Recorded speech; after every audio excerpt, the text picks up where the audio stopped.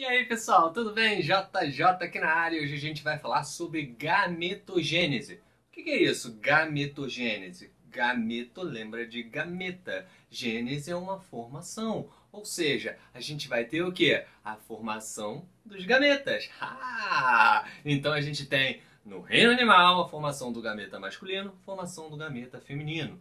Isso tudo ocorre sempre na linhagem germinativa. É aquela linhagem que vai efetivamente formar os gametas. E ora, isso acontece por conta de uma divisão celular chamada que meiose. Se você não pegou ainda o resumão de meiose, ó, tá aqui em cima. Então acessa lá para você entender um pouco mais. Eu vou botar aqui embaixo também um vídeo sobre mitose, né? O link do vídeo. Então você dá uma olhada lá para você conseguir entender quais as etapas dessas divisões celulares, beleza? Show de bola! Então a gametogênese, que é a formação de gametas, ela vai se dividir em espermatogênese, que ocorre no sexo masculino para a formação de espermatozoides, e a ovulogênese, que ocorre no sexo feminino para a formação do óvulo.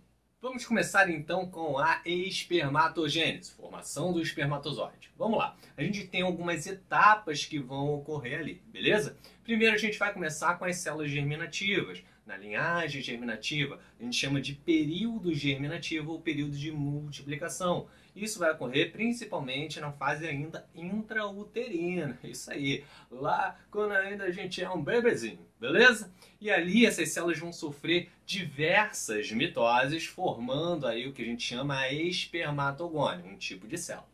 Depois, essa espermatogônia vai sofrer um período de crescimento, que vai ocorrer principalmente na puberdade.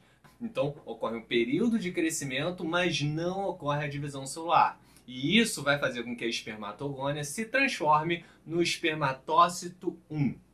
Esse espermatócito 1 é o que vai sofrer a meiose 1. Ah, então, a gente tem um período de maturação em que ocorre a meiose 1 e o, espermatócito 1 vai acabar se transformando no espermatócito 2.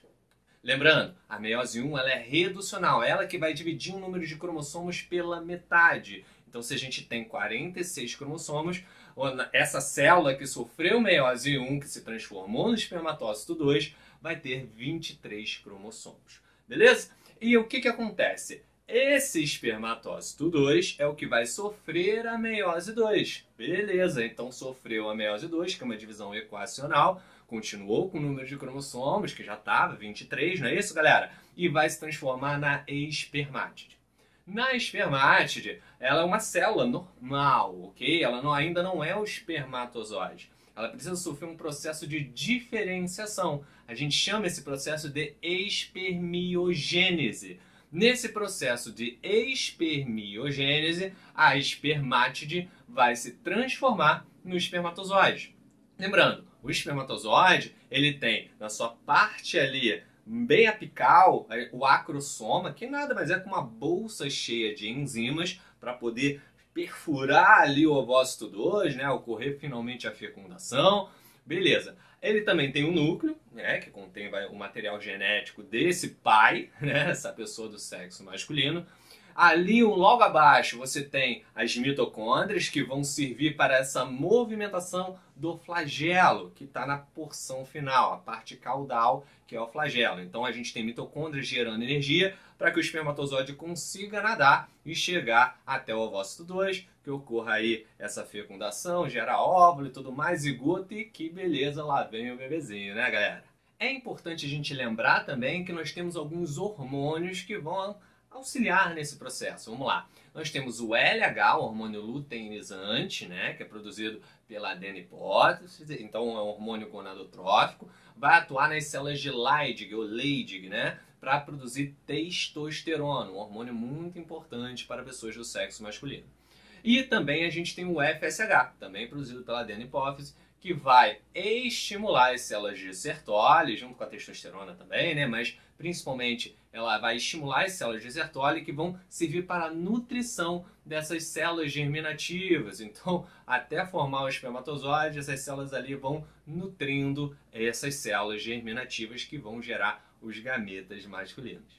Já na ovulogênese, a gente tem algo diferente acontecendo ali e a gente vai falar passo a passo, pessoal. Primeiro, ela também tem o período germinativo, o período de multiplicação, né, em que essas células germinativas da fase intrauterina vão sofrer diversas mitoses, formando as ovogônias, né, entendeu? Então, no sexo masculino é espermatogônia, sexo feminino, ovogônia. Essa ovogônia vai ter um período de crescimento, se transformando no ovócito 1. Esse ovócito 1 é o que vai sofrer a meiose 1.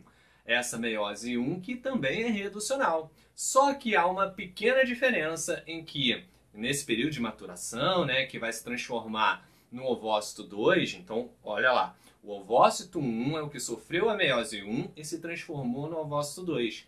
Mas note né, que é uma divisão celular, então gera duas células. Uma delas é o ovócito 2, a outra é um corpúsculo polar ou glóbulo polar. Esse glóbulo polar, ou ele vai ser degenerado, ele até pode sofrer a meiose 2 também. Vai gerar mais dois glóbulos polares. Tranquilo. E esse ovócito 2? Esse ovócito 2, ele vai sofrer a meiose 2 e se transformar finalmente no óvulo e mais um corpúsculo polar. Ou seja, no final de todo o processo, nós temos um óvulo, que é efetivamente o gameta masculino, e nós temos três corpúsculos polares. Esses corpúsculos polares, mais uma vez, eles vão ser degenerados, não vão servir para nada. Eles só serviram para auxiliar realmente a divisão celular para o óvulo, né, que é uma célula bastante grande em comparação ao espermatozoide, por exemplo. Agora, olha só que interessante, né? Ah, você já sabe agora que a mulher ela vai produzir um óvulo e, claro, a cada ciclo menstrual. O homem ele produz aí cerca de 100 milhões de espermatozoides todo dia. bastante coisa. Então, é uma diferença bastante grande. Além disso, no período germinativo, vai ocorrer até geralmente o terceiro mês de gestação, né? Que é quando você está ali dentro da barriguinha da mamãe tá? até o terceiro mês. Depois para esse tipo de divisão celular, ok? No período de crescimento, essa ovogônia que vai né, parar sua divisão na prófase 1. Né? Então, crescendo, se transformando no ovócito 1, que é um período que a gente chama de dictióteno. E depois, né, na puberdade, retoma o seu período é, divisional. Beleza. Aí depois vai chegar o período de maturação, né, que ocorre após essa maturidade sexual. E a ovulação, que é muito importante a gente falar, não libera o óvulo. Muita gente acaba confundindo. Libera o ovócito 2. O óvulo ele só existe quando há fecundação, quando ele encontra o espermatozoide. Ou seja, você, pessoa do sexo feminino que está me assistindo, se você nunca ficou grávida na vida, você nunca teve óvulo na vida, você teve no máximo ovócito 2, tá? E o que acontece? Depois de um certo período, ocorre a menopausa, em que esse processo todo de liberação dos ovócitos 2 vão acabar. Na verdade, o ovário ele vai acabar entrando meio que em falência, é isso aí. Acaba não produzindo mais os hormônios que devem produzir e também é, esse ovócito 2. Já o homem não, ele pode aí, cerca de 50, 60 anos, 70, poder efetivamente engravidar, nem que seja por inseminação artificial, mas ele pode, ele produz espermatozoides até o final da vida. E é isso, pessoal. Espero que vocês tenham gostado. A gente só falou aqui das formações dos gametos. Depois eu faço um vídeo desde a fecundação até o processo de embriogênese. Mas por enquanto a gente faz aquele bate-papo rápido, aquele resumão. Espero que vocês tenham gostado. Qualquer coisa, comenta aqui. Não esqueça de curtir o canal, não esqueça também de se inscrever no canal, porque eu trago aí sempre mais resumos, mais matéria, mais coisas importantes para a sua aprovação. Beleza, galera? Um grande beijo e tchau, tchau.